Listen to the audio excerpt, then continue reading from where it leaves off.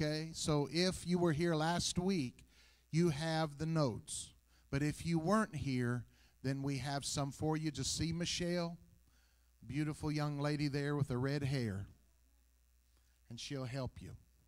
All right. So let's uh, let's recap a little bit on some of the answers, especially for some of you that that weren't here, and. Uh,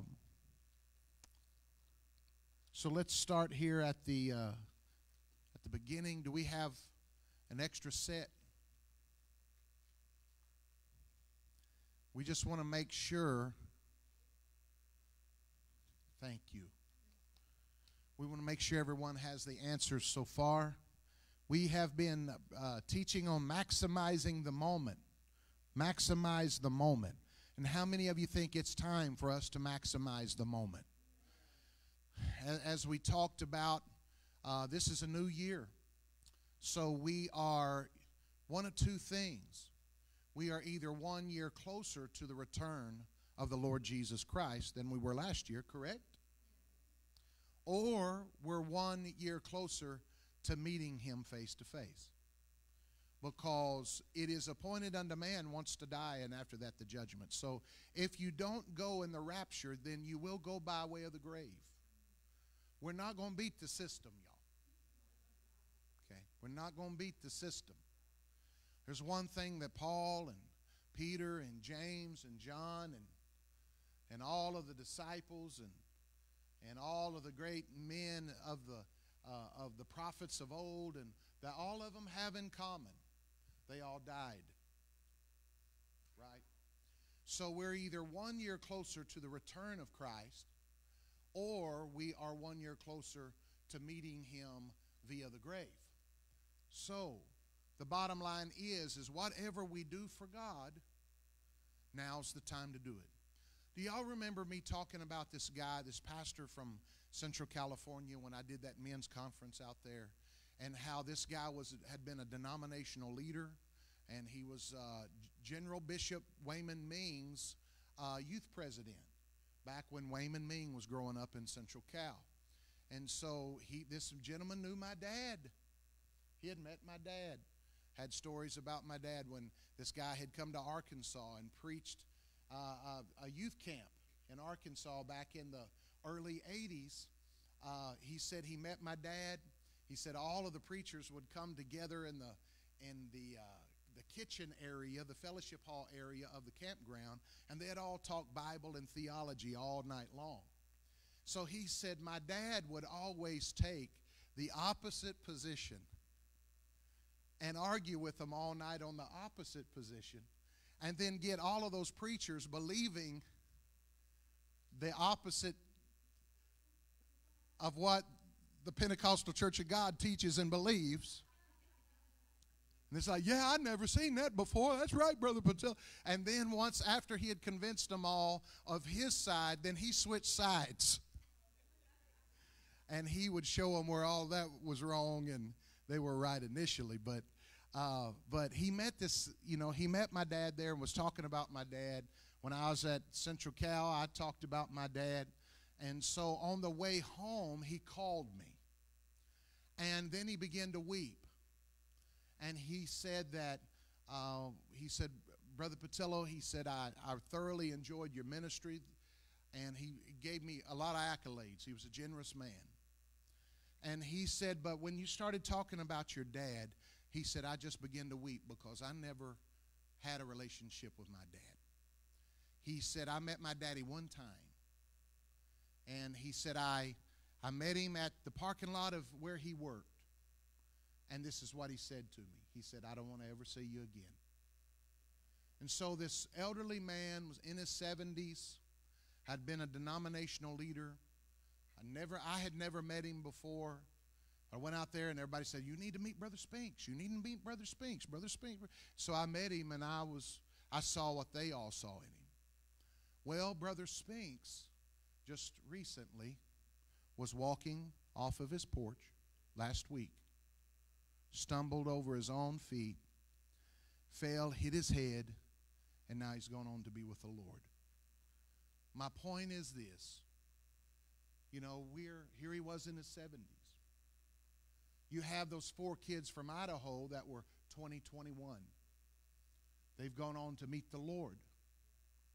So we, we can't think, you know, I've got all the time in the world. Maybe you do have time, but maybe you don't have time. The key is that we need to be ready all the time. And we need to make the most of our opportunity now. Just like I said Sunday, you know, the Adrian Rogers, that great preacher, Bellevue Baptist Church in Memphis. This guy from his church was dying and wanted uh, Adrian to come over and see him, and he did, and he praying with him, and there's talking, and and this and this man who was a respected man in the church, a respected man in the community, uh, told Adrian Rogers, he said, he said, Pastor, I'm not afraid to die. I'm not afraid to die. I know Jesus as my Lord. I'm not afraid to die. He said, but I am ashamed to die. When we need to think about that. He said, I'm ashamed to die because I've never won anybody to Jesus. I've never won a soul to the Lord. I'm not afraid to die. I'm ashamed to die. See, we have to maximize the moment. Whatever we're going to do for God, we got to do it now. Amen. So let's let's look at our notes here. Maximize the moment, and uh, and so uh, let's just kind of deal with the blanks. It says for those of you that missed last week, these facts are good reminders that whatever we do for God, we must do now. Time is flying, right? It's quickly passing by. Remember when Melissa and I we got married right here on this stage, November 14th, 1992, 92, uh, 90, 92, 92. I do on in 92. And so it just seemed like yesterday, doesn't it? Girl, I know being For me, it was like yesterday. For you, it may feel like 75 years. I don't know. 30 years. And then we look and said, what, what's happened to the time? It's just flown by. It's flown by. I remember the first Sunday I ever walked in this church and never had been here before. That time they did uh, some music before Sunday school and some announcements and stuff like that. And so Melissa, you know, here she had just really met me in March and we got married in in November. So this was like June. So she really didn't know me. She just knew that the Lord said that's the guy. And so she said, "Well, here I've got to play the piano and I got to do some stuff. So you sit right here and I'm you'll be all right. You'll be all right. You can sit right here. You'll be all right. And I'm going to go do some stuff. And I'll be. So she came back. She's like, "Where's Jimmy?" Well, Jimmy's around here shaking hands with everybody, man. You know, hey, I'm Jimmy Patella. What's your name? And just meeting friends. And and it just seemed like yesterday. You know, I was meeting Shirley for the first time, and meeting Sandy for the first time, and meeting all the different people for that, that were here then, that were alive then, meeting them for the first time. Yesterday, Darla was here. First time, boom. Yesterday, time's flying by. And before you know it, you know, I'm 53 now. You know, and I started thinking back, you know, back when we were married, Melissa, your daddy was 53. And now he looks like Methuselah. I'm joking, Bishop. I'm joking, Bishop. I'm joking, Bishop. But now he's 83. Well, in another 30 years, I'll be 83 if the Lord tarries or if he gives me grace. See what I'm saying? So and then I'll look like Methuselah. Somebody said, Jimmy, you, you look like Methuselah now at 53, and you smell like Methuselah. But the deal is, whatever we do for God, now's the time. We got to do it now, no delay. So we must maximize the moment. Okay, look at your notes. We must maximize the moment.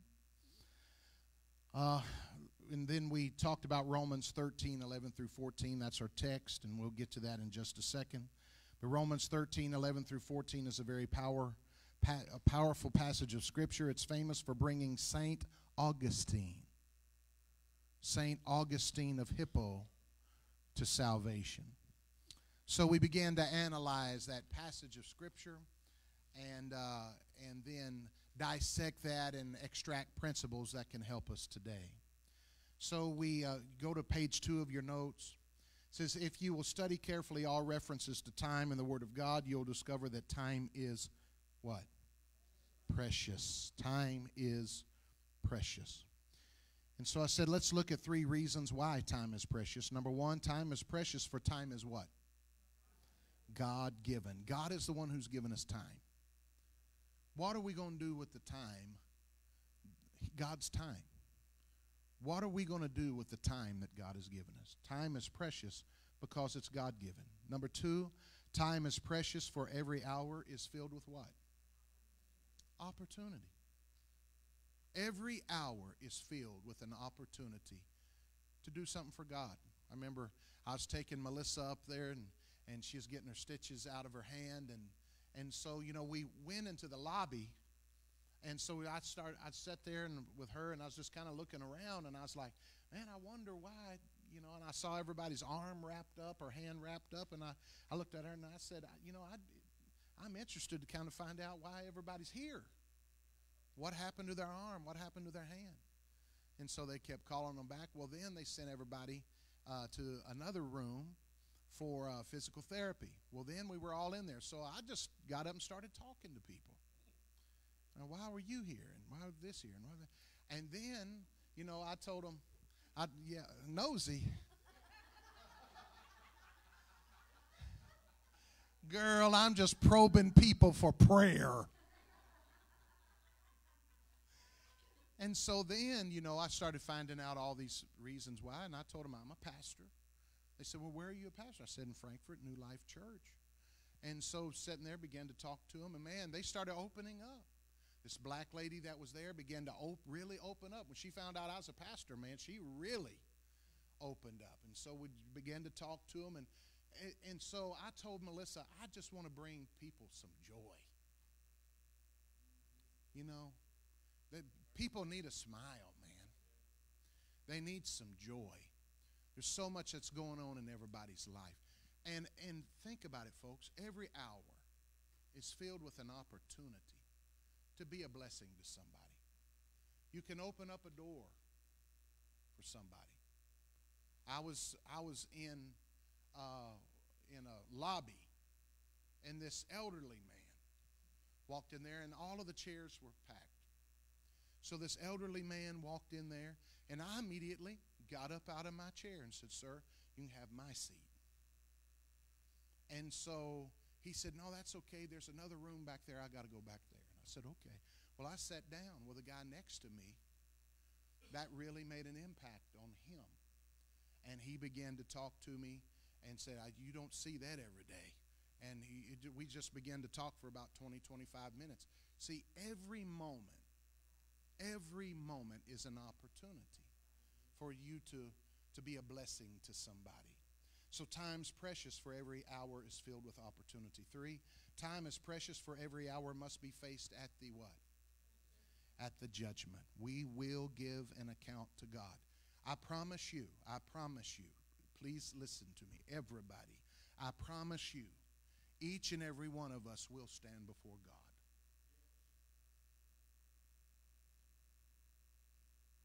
We will. Now that should motivate us.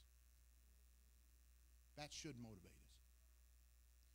To stand before the God of the universe in all of his glory and to give an account of your life before him. Wow. That should make us consider how precious time is and what we should be doing for him. Amen. So the believer is to what? The, the believer is to know the time. Somebody say, know the time. And the reason why I really wanted to hit this because I got so excited last week, I just totally skipped this section. Yeah, I know y'all know the. But see, y'all are so polite. Y'all wasn't going to say, uh uh preacher. Get back to the notes. So here I was teaching and all that and totally skipped this section because I got caught up. But let's deal with it now. The believer is to know the time.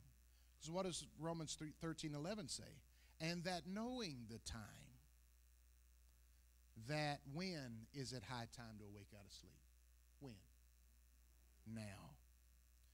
Why? For, for when is our salvation nearer than when we first believed? Now.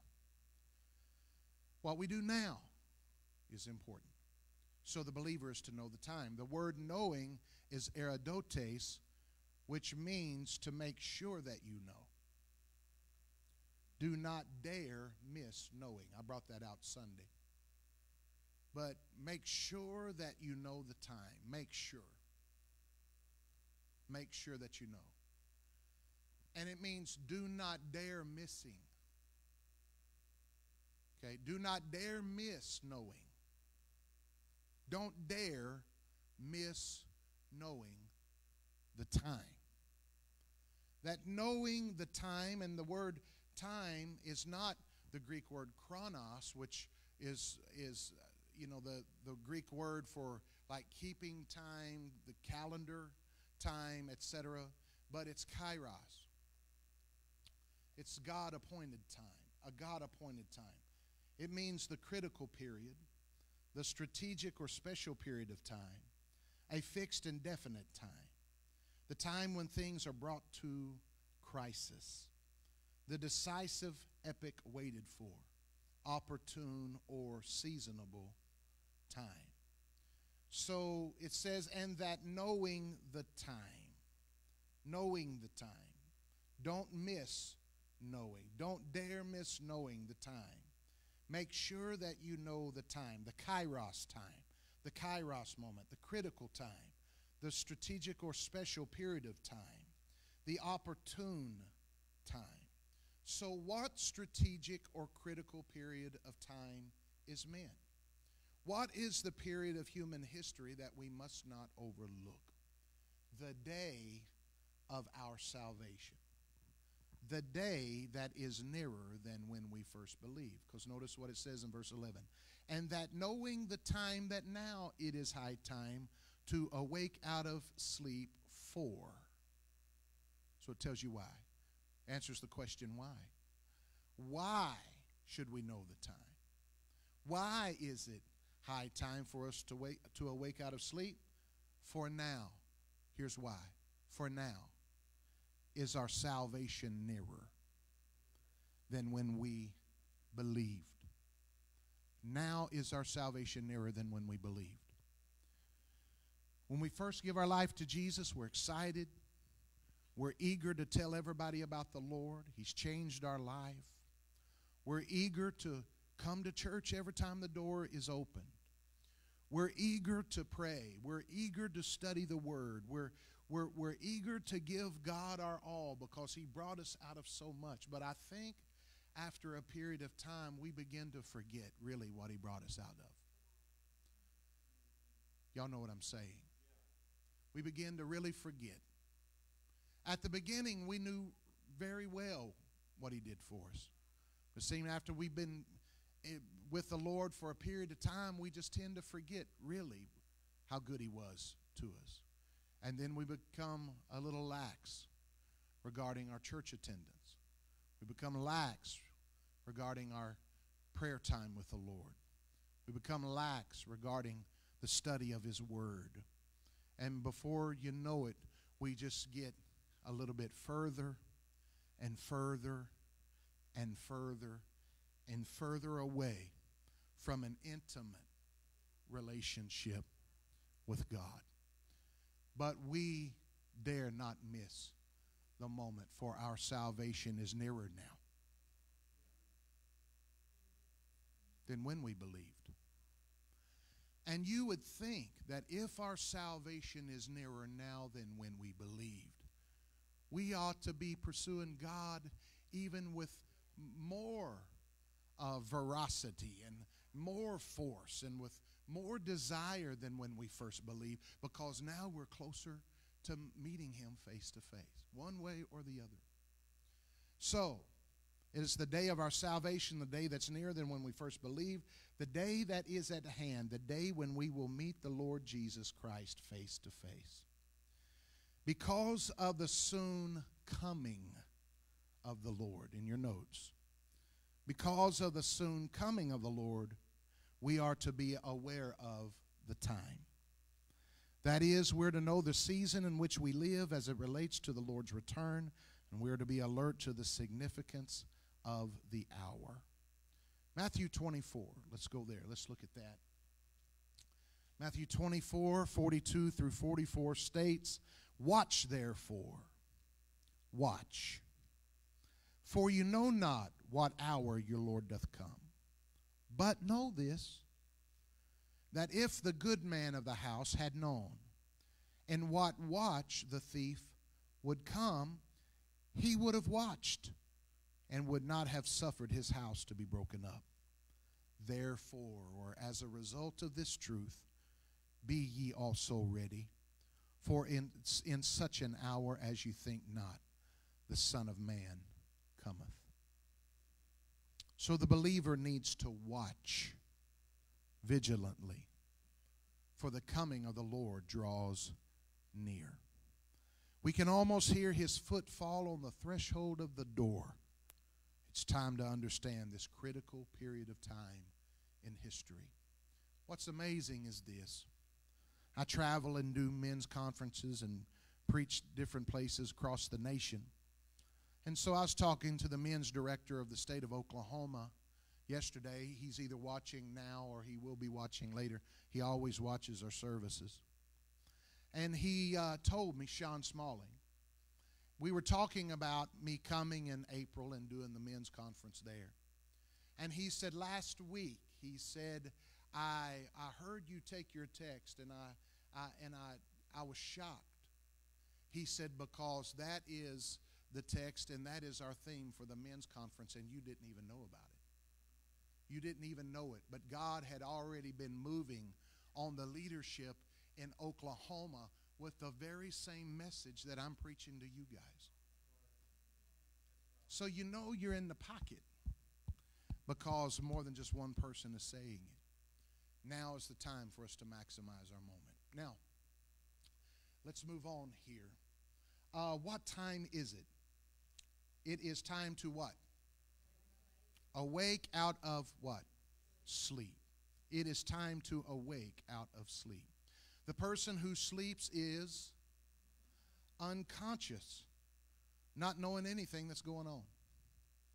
If you are asleep, if there's a tornado, you probably don't know anything about it. If you're asleep and someone is is breaking into your uh, storage building, you probably don't know anything about it. I remember on a fast in the early 2000s, Melissa remembers this. When we lived in Oklahoma City, we lived on Southwest 44th Street. Now, I was born and raised in, in Texarkana, was raised on College Hill.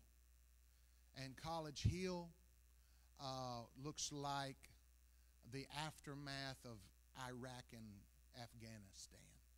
If you was to go where I was raised, and if I was to take you on a tour through College Hill in Texarkana, Arkansas, it looks like the aftermath of Afghanistan. Am I lying, Melissa? Or Iraq? No joke.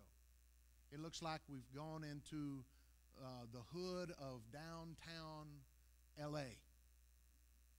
And it's just, it's, it looks like that. So, you know, I was raised that way. Melissa was not raised that way? We got in Southwest 44th Street in Oklahoma City, and it wasn't the best area of, of town. So we were on a fast, and I began to pray and during our fast, and I, I prayed that the angels of God would protect our property from the north, the south, and the east and the west. Did I not? So during this fast, every time we'd pray, we'd take communion together. And I would always pray that because of living on Southwest 44th Street in Oklahoma City. But one night, probably about 3 a.m., probably around 3 a.m. We were sleeping. And all of a sudden, our dog cuddles Marie, cuddles for her puppy side, Marie for her feminine side. She started scratching, you know, wanting, trying, getting me up, trying to get me up. She never did that. Once she went down for the count, she was down for the count. One time in the 12 years that we had that dog, at 3 o'clock in the morning, she's going to town scratching, trying to wake me up. So I said, Lay down, Cuddles. Lay down. I'm tired. Lay down. She just kept on and kept on going. So here I got aggravated, and I was like, Okay. So I picked her up and I and I opened the back door to take her outside, and lo and behold, there he was. There he was. He was tiptoeing over to my storage building to try to steal something from my storage building. And man, my last name is Patillo, okay? And boy, I yelled to the top of my lungs, Get out of my yard! I probably woke up everybody in the in the entire neighborhood. And he looked and he said, I'm going. but I noticed that he was he was going real slow. So I said, Melissa, bring me my gun. Boy, and I started thinking about it. The moment he threw his long, lanky leg over my fence, the angel of God woke my dog up. I wish I had somebody to help me right now. Woke that dog up to get me up. Because we were fasting and praying that the angels of God from the north, the south, the east, and the west would protect our property, protect us, protect everything that belonged to us on that. And as soon as that guy threw his long, lanky leg over my chain link fence, come on. The angel said, Cuddles, it's time for you to get up. And woke me up. So you're unconscious when you're asleep. You don't know what's going on. You don't know if it's a tornado. You don't know if somebody's trying to steal something out of your, your garage. You're just unconscious. You're you're out of it. And that's how it is when, when we are asleep spiritually. We're unconscious of what's going on around us. And, and that's why we have to ask ourselves do we really know the time? Have we really gotten a hold of the time that we're living in? Do we really know how close we are to meeting the Lord face to face?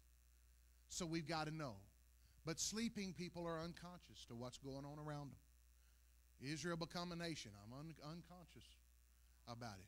You know, Russia invading Ukraine. I'm, I'm just unconscious about it. I don't know what's going on.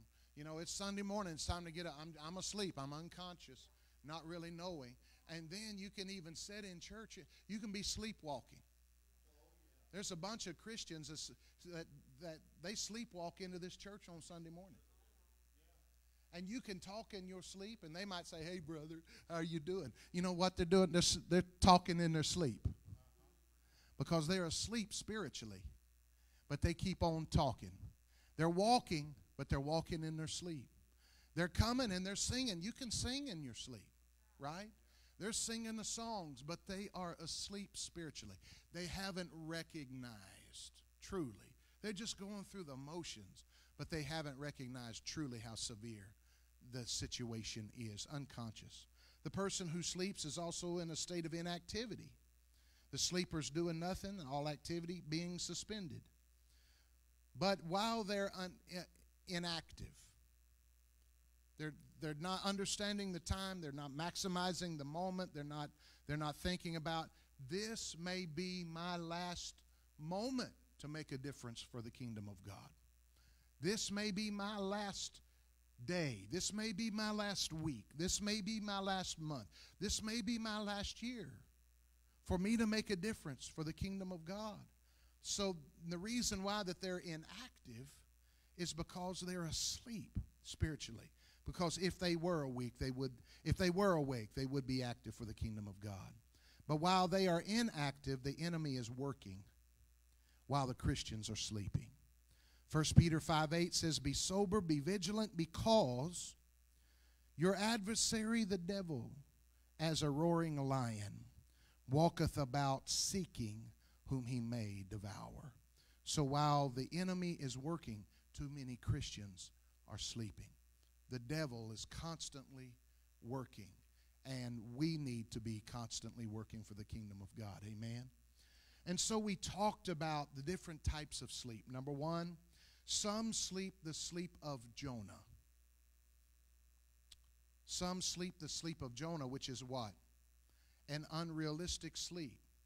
So, how that he went aboard the ship, descended into the hold of the ship, went to sleep, and not even the storm which descended upon them aroused him. And that's how a lot of sinners are. They're sleeping the sleep of Jonah because sin is like a tornado all around them, but people aren't giving heed to it. They're just sleeping through the storms of life rather than turning to God. There's a storm going on in their family, but rather than turning to God, they're they're just they're sleeping the sleep of Jonah.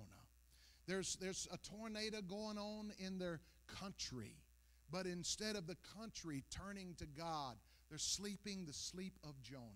They are in a deep sleep when all, if you will, hell is breaking loose all around them. But they're not cognizant of it because they're sleeping the sleep of Jonah. Folks, we cannot sleep the sleep of Jonah. We need to be cognizant of what's going on. We need to understand the times. Secondly, some sleep the sleep of what? The weary, as did the disciples Peter, James, and John in the Garden of Gethsemane. Eh, and so, in that week in Jerusalem, hey, David. Is it? Well, hey, I'm right in the middle of teaching class at church. So let me put you on speaker so everybody can say hi to you, okay? Guys, this is my brother David Patillo. Say hi to David, will you? All right. David, I'll call you back, okay? Love you. Love you too, buddy. Bye. He's going to tell me, I'm sure. So, but He's the guy that we prayed for that's now cancer free, right? Amen. Amen. Praise the Lord. So some sleep the sleep of the weary. And uh, that week in Jerusalem, they had been, uh, I mean, that week had nearly overwhelmed them. They simply couldn't stand the strain and they, they just went to sleep. And uh, we see that today, that people are so tired of the ceaseless struggle of their life. It's just a constant struggle. They're constantly on the run, they're constantly doing something, and they're tired. And so, so because they're so tired of, of the constant strain, the constant, constant struggle, they, they are tired of the ceaseless struggle. They're worn out with the dull routine. They're numbed by the monotony of life. And as a result, they have fallen asleep spiritually. But while they nod, Judas is making a deal with the high priest. So, folks, we have to do everything we can to make sure that we don't sleep the sleep of the weary. Amen? So, number three, let's start here. Some sleep the sleep of presumption. Some sleep the sleep of presumption, like Samson upon the knees of Delilah. Some sleep the sleep of presumption, like Samson upon the knees of Delilah. He knew all of the dangers, but he slept anyway. I want you to think about that. He knew all of the dangers, but he slept anyway. Why? Because he presumed that he could always rise to the occasion. What you think about that? He presumed that he could always rise to the occasion. He presumed that he could always go out and shake himself as at other times. Is that not what it said? That he thought he could just shake himself as at other times and he was therefore content, contemptuous of all of the danger that was around him. And as a result, he was led away to the blinding irons and the mill to do the work of an ass until his life was ended. Bottom line presumption, the sleep of presumption, like Samson, knowing all the dangers, but living under the presumption that I'll just rise to the occasion as other times. I'll be able to do what I've always done. And many people are asleep like that today. They know all of the spiritual dangers that are around them, but they still sleep. They know the danger of the neglect of prayer. They know the danger of the neglect of the study of God's Word. They know that the danger of the neglect of worshiping God, of the neglect of assembling themselves together with other believers. They know how deadly the sting of sin is, but they sleep anyway because they presume that they'll just be able to shake themselves and do what they've always done. I know, I know the truth. They say, but they sleep anyway. They presume to think that when they need to, they can just shake themselves as at other times and everything will be okay. But while they sleep, inevitably there comes the hour when it's too late. When it's too late for them. As for Samson, once again, they're led away to the blinding irons and the meal and the work of an ass until life is ended. So, folks, we cannot sleep the sleep of presumption like Samson, but we must be awake. Can somebody say amen? Number four, some sleep the sleep of the sluggard. Some sleep the sleep of the sluggard. In Proverbs 24 30 through 34, we see that. And these are they who are always putting off till tomorrow what they should be doing today. They are going to be saved tomorrow, they say. Well, I, am going to sow my wild oats right now. I'm 15. The average life expectancy, Brother Jimmy's 85. I've got 70 years to sow my wild oats before I turn to Jesus. So I'm just going to procrastinate. I'm going to be a sluggard about my spiritual state. I'm going to go do whatever I want to do, and then maybe sometime in the future, I'll accept the Lord. I'll, I'll, do what I need to do, but for right now, I want to do what I want to do. So they're going to be saved tomorrow. They, they plan to stir themselves in a convenient season. And, and so they, they plan to obey the Lord, but just not right now. See, the problem with that is everybody thinks they have plenty of time, as we discussed. But maybe we do, maybe we don't. I'm sure the four college students in Idaho felt that they had all kinds of time, but today they're gone. And I'm reminded of that old song by Connie Smith. Do y'all remember that song, Plenty of Time? Yeah, I remember I remember my brother David, guy who just called, the songwriter, used to sing this song a lot. Here's the words. I got up on Sunday morning, went to the church at 10. I listened to the words I'd heard time and time again. The preacher spoke of simple lives. It seems he spoke of mine. But I was young. I had plenty of time. I walked on down life's pathway, living as I wished to live. How to beat the other fellow, how to get what life could give. Making money isn't sinful, having fun is not a crime, so I'll just wait. I've got plenty of time. Plenty of time to decide where I'm bound to eternal darkness or to heaven's grounds. I'm just a young girl not yet in my prime. So I'll just wait. I've got plenty of time. Before I knew what happened, life seems had passed away. And millions stood before God's throne, for it was judgment day. And now eternal darkness beckons, and the name it calls is mine. but I thought that I had plenty of time. Eternity waits, I've got plenty of time to think of all the way or all the days that Christ could have been mine.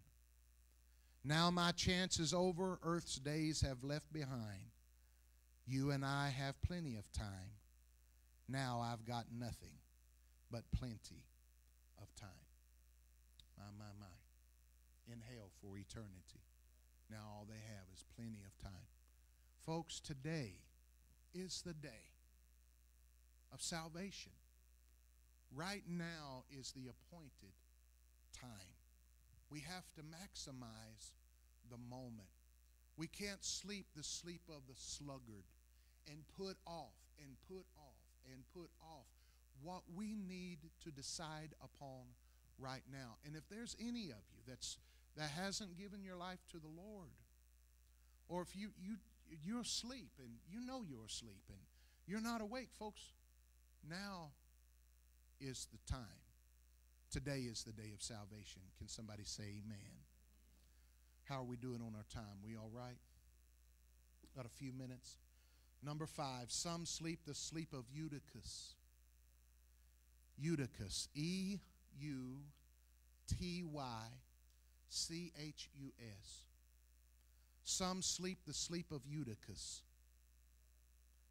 Yeah, E as in Earl, U, T is in Tom, Y, C H U S, Eutychus. And let's go over to Acts chapter 20. Acts chapter 20. Don't we have fun together, y'all? He didn't want me to say anything, but I'm glad to have my friend Rudy here tonight. Well, I'm just glad to have him. We're not going to make him say nothing. Acts 20, verse 7 says, And upon the first day of the week, when the disciples came together to break bread, Paul preached unto them, ready to depart on the morrow, and continued his speech until when? And some of y'all complain that I'm long winded. And I ain't going to look at anybody. I'm just going to look through the corners. But here Paul preached till midnight, y'all. So think about that. Now, and there were many lights in the upper chamber where they were gathered together. And there sat in a window a certain young man named Eutychus, being what? Fallen into a deep sleep. Is that what we do when the preacher preaches? Have we already checked out? The preacher is preaching. The most important words you're going to hear all week is happening right now. I'm just going to be honest to you. Most important words you're going to hear all week, you're going to hear them Sunday. More than anything. More than I love you, God's word is the most important words you will hear all week. And here this guy was, Paul, the apostle, was preaching, and he was asleep while the man of God was preaching. Are we asleep or are we attentive when the man of God is preaching the word? When preachers are preaching the word, are we attentive? Are we, are we catching a hold of it?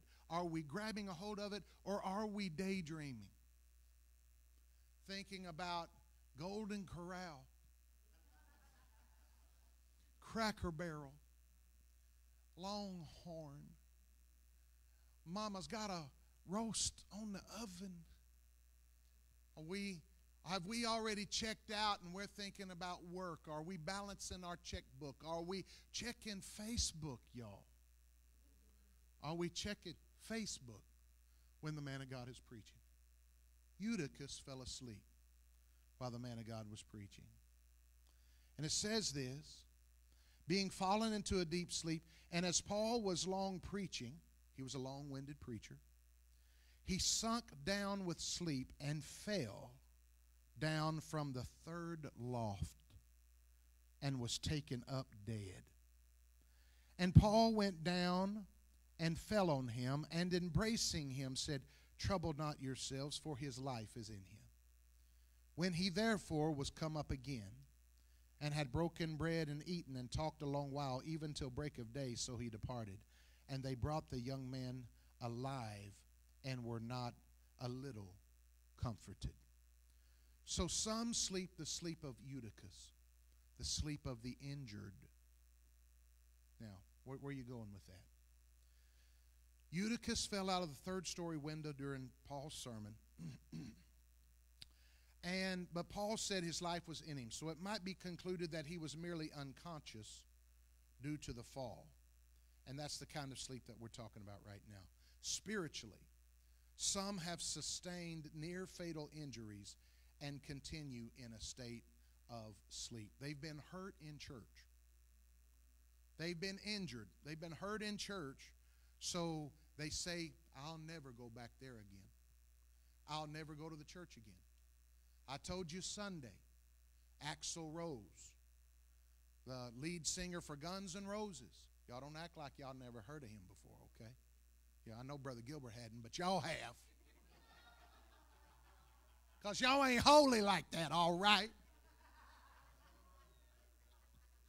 Axl Rose, PCG boy, Pentecostal Church of God boy, raised in Pentecostal Church of God, Lafayette, Indiana, a church I preached quite a few times. His daddy was a board member and Sunday school teacher. But unfortunately, daddy, the daddy at church wasn't the daddy at home. And Axl Rose got hurt. And he said, I'll never go back again. And quit the church thing. All because he's sleeping the sleep of Eutychus. He's been hurt in church and said, I'll never go back. I'll never have anything to do with it. And so there are people like that. They've been hurt in church that say they'll never go back again. They've been hurt by disappointment. Something happened. God didn't do what they thought He should have done. So now I'm hurt. I'm mad at God and I ain't going to serve him anymore. Can I tell you something? If God never did anything else for you other than saving you, that's enough for you to worship him for every day, every moment of your life. If he never ever did anything else, just saving you alone is enough for you to devote your life to him and never look back one second. So many people disillusioned with God because they thought God should have done this and it didn't happen that way. And their hurts have left them insensible to the times that they're living in through spiritual sleep. But they must be awakened or they. Folks, we cannot sleep the sleep of Eutychus. Don't allow, we're in a church, a church is filled with imperfect people. And you stick around the church long enough, I know all about church hurt, folks. Trust me. I, was born in a pastor's home. Raised, I was born on a Tuesday and church Sunday and hadn't missed since. You don't know church hurt until your mama reaches down to the bottom of her purse and gives you a half torn piece of Doublemint gum. You don't know church hurt. Y'all know what I'm saying? Give you that old piece of gum, stale, been there for six months. You don't know church hurt. I'm just playing about that. But the bottom line is, any time that we've spent around people, people are going to say things to us that, that maybe hurt our feelings. They're going to say things to us that there's conflict happens. And if you're looking for a perfect church, what makes you think they'd ever let you in there? Right? As soon as they let you or me in there, we'd mess it all up if you're looking for the perfect church. None of us are perfect. But hopefully we're growing to become more and more and more like Jesus each and every day. Amen. So there's going to be times to where people get hurt. They're going to be it may not be intentional, sometimes it may be intentional because people are walking in the flesh. But never judge the Lord Jesus Christ by the failures of his servants. Never judge the Lord Jesus Christ by the failures of his servants, by the failures of his kids. And never allow that to get you to the place to where you say, I, I want to exclude myself from the assembly assembling with brothers and sisters in Christ. I want to exclude myself now from fellowshipping with anybody. I don't want to have anything to do with them. And so we have to be very, very cautious that we do not fall prey to the sleep of Eutychus. Amen. There's more, but we'll get into it next week. Let's let's all stand and pray.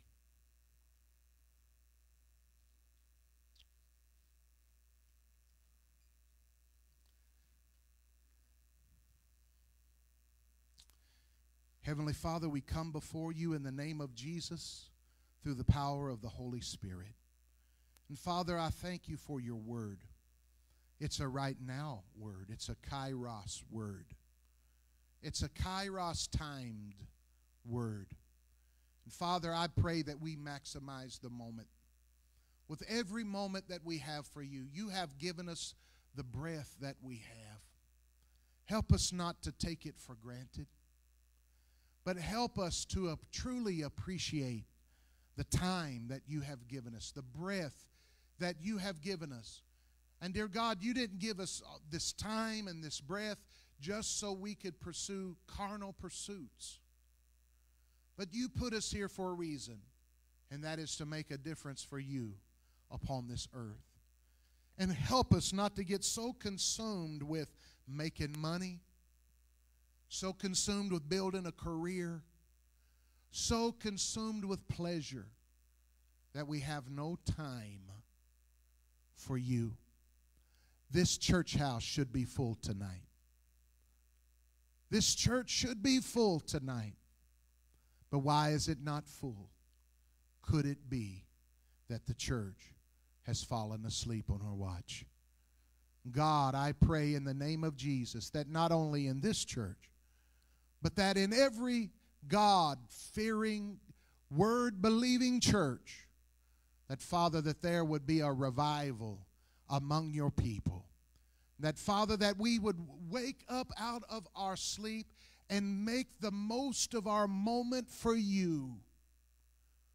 For there are many things in heaven that we will do, but the one thing we will never do is lead a person to Jesus there because everyone there is saved. Now is the only time that we have to do that. Wake us up, God. Help us to be awake. Help us as I've gone through these different types of sleep, whether it was the sleep of Samson or the sleep of Eutychus or the sleep of the weary, wherever we find ourselves. God, we've got a church of people here that may be in different places or maybe several of them all at the same time. But God, I pray that this night that you wake us up out of sleep and that you help us make a difference for you while we can. For the night comes when no man can work. We love you, God. We honor you and we glorify you in this place in the name of Jesus. And everybody said, Amen. Let's give the Lord a praise offering tonight. Hallelujah, Lord. We love you. We love you. Amen. Well, praise God. We love you all. We appreciate